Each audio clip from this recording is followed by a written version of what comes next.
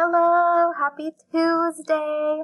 For today's math lesson, what we will be doing is we will represent and solve addition word problems. How we will be doing this is we will use manipulatives to model and solve a word problem. This is important so we know how to make a model in order to represent a problem. Before we start today's math lesson, let's go ahead and review our vocabulary and as well as our anchor chart from yesterday. We're going to start off with strip diagram. This is a new vocabulary word that we learned yesterday. So let's say it all together. Strip diagram. Good job. Strip diagram. So a strip diagram, we have our part, part, whole. So when the whole is unknown, you add the parts. What do you do? You add the parts. So this helps with addition word problems. So we have our part plus part, which equals our whole. So this is our strip diagram. Next we have our equal sign. Let's say it all together equal sign. Our equal sign is a symbol that means is the same as. So we have 6 equals 6, so 6 is equal to 6 because they are the same number. They have the same value. Equal sign. So let's go ahead and look at our anchor chart from yesterday. So this is our strip diagram that we did yesterday, and we did it for an addition word problem. So yesterday we had to solve how many birds were on the tree. So we have 6 plus 3 equals question mark because we didn't know how many birds were on the tree. And this was the strip diagram we drew. So we drew our part, which was 6, and then we had another part which was 3. And we wanted to figure out our whole. So this one has a question mark because we didn't know our whole. So we have our part, part, whole, and we added them together in order to solve for our sum. So let's go ahead and look at another word problem today so we can practice more with our strip diagrams. Today we're going to go ahead and read another word problem and go ahead and draw it and then construct our strip diagram. So let's read this problem together. Kellen had eight purple balloons. Frankie gave him nine balloons. How many balloons does Kellen have now? Okay, so let's go ahead and read the first number.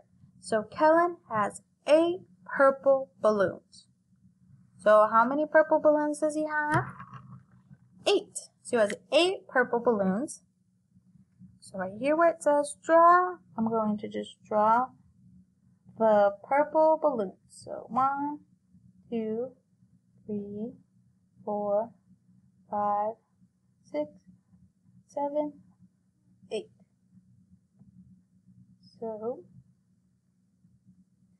I'm just drawing them in a balloon shape, but you can draw the dots just like how I showed yesterday, or you can draw the balloons. You don't have to. So I have eight balloons. So now let's go ahead and I'm going to get some linking cubes and grab eight purple linking cubes or eight purple balloons. So I have four, five, oops, six, seven, and one more, eight. So let me check one more time. One, two, three, four, five, six, seven, eight. So I have eight purple linking cubes for my eight purple balloons. So I'm going to go ahead and put them on the side. And let's look at our strip diagram. So we found a part. It's eight purple balloons. That is one of our parts.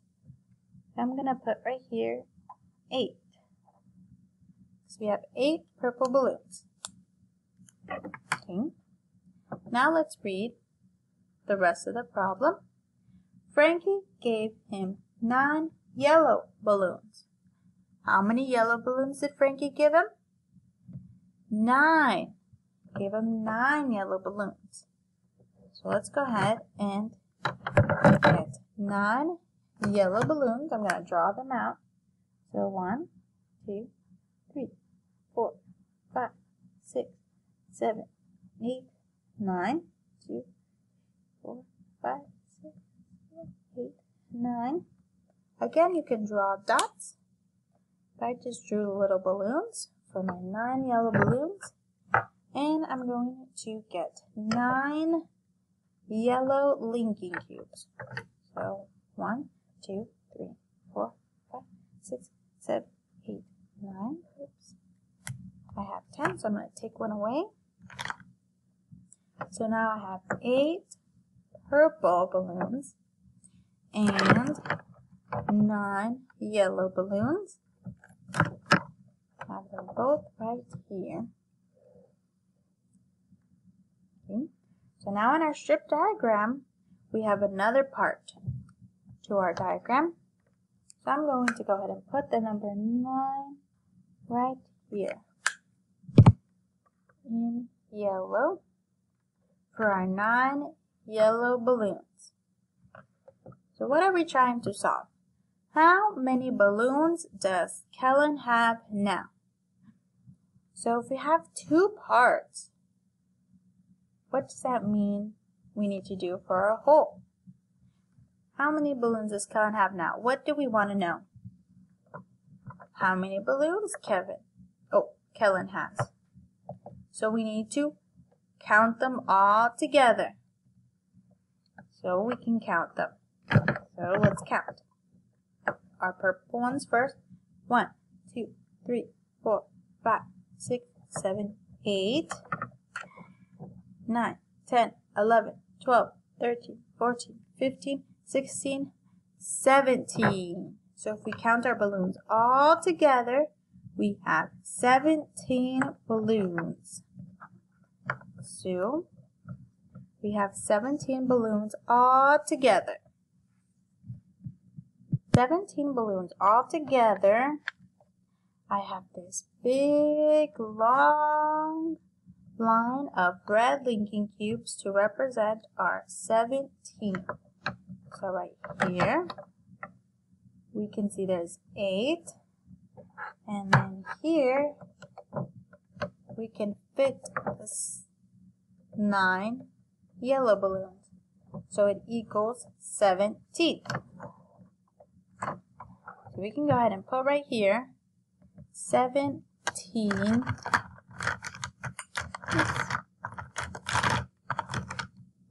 So I'm going to put it with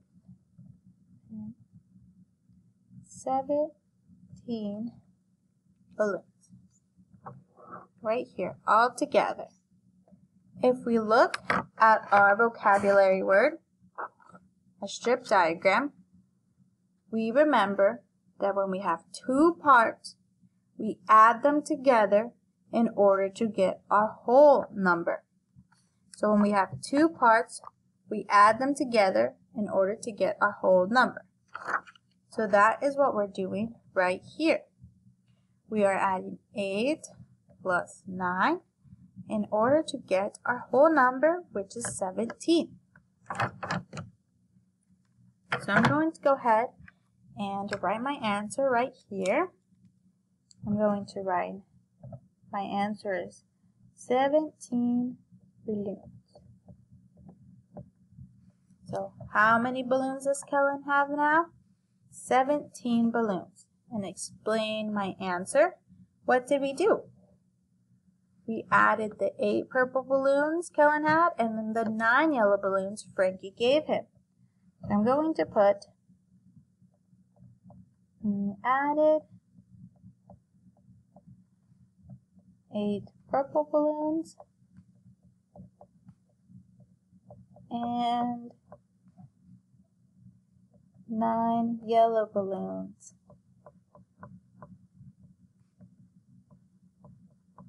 So that is what we did.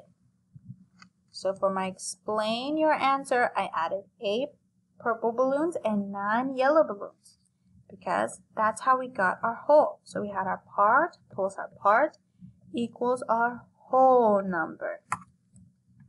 Yeah? So we added, this was an addition problem. So we created our strip diagram. We got our whole. For your assignment for today, you're going to go ahead and solve a similar word problem. So this is the word problem. Isabel has six purple balloons.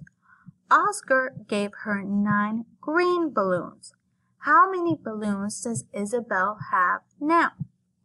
You're going to do exactly what we did in the lesson. You're going to draw out your word problem and you, then you're going to create your strip diagram.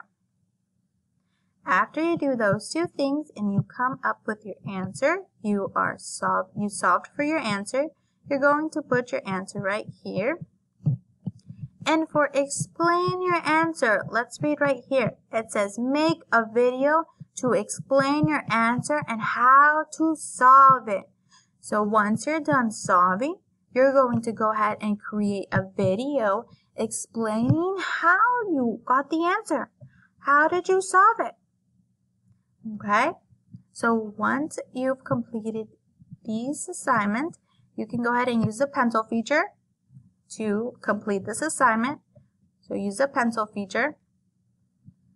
You save this document. So make sure to press save. It's the right on the right hand side. There's a save button. So press the save button and then also upload your video explaining how you solve the answer for today on Google Classroom. Once you've done those thing, two things, then you are done for the day. You can go ahead and go to the next slide, which is the last slide, to practice counting to 100 with a cute little song. Hmm? Today, we review how to solve problems using manipulatives and how to model in order to represent a word problem. I'll see you next time in math. Bye.